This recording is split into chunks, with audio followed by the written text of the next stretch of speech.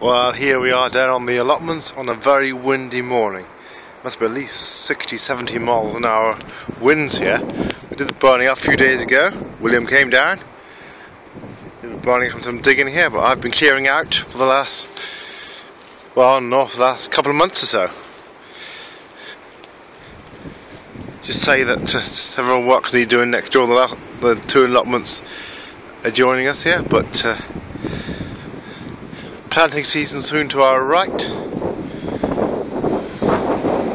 Anyway, uh, coming up here, it's very windy as you can tell, being blown around here. A little earth with a bit of nutrient on there. Bit of gone off milk there.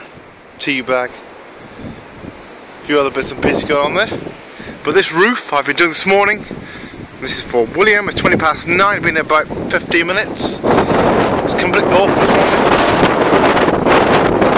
blowing around. Now, now we need to tie this up with some string, so we have to get some string here. Blowing here, this flap at the side here.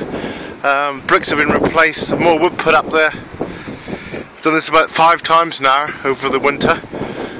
Um, blow around this heavy wind that this area attracts.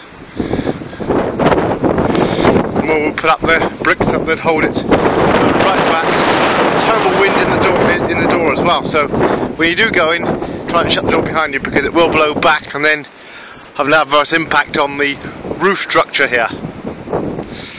As I say, replace the wood, bricks, without being knocked on the head. It's either use the ladder.